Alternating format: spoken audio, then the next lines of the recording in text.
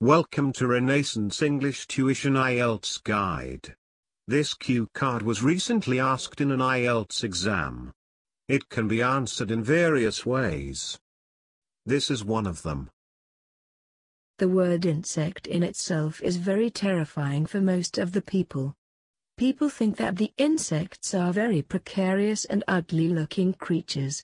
But, not all the insects are dangerous and repelling. Some are very beautiful and harmless. Ladybird, which is my favorite, is one of them. In North America, they call them ladybugs. Entomologists, however, prefer to call them beetles as they cannot be classified as true bugs. I think they are nearly ubiquitous as they can be found in Europe, the United States of America and Asia. Their natural habitats are forests, grasslands, and even cities. They can be easily found under rocks and rotting logs of wood. I have seen some in my garden also. Their body shape can vary from round to elliptical. Their small black heads have two tiny antennae. They have six legs. The body is protected with hard, dome-shaped wing covers.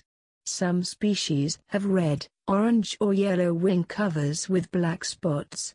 Others can have golden stripes on black wing covers, and some can be without any markings. I like them because of their vibrant colors and diverse patterns. The most significant fact about them is that they are harmless to human beings. Besides being harmless to man, they are very useful to farmers as they feed on aphids and other agricultural pests. I have read somewhere that a single ladybird can devour up to 5,000 insects in its total lifespan. However, a few species can be harmful to crops. When in danger, they secrete a foul-tasting oily fluid from the joints of their legs to protect themselves from the predators.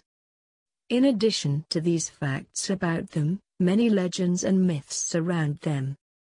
They are considered auspicious in many cultures. In India also children treat them as good luck charms. They think spotting them in their surroundings is good for getting good marks in studies.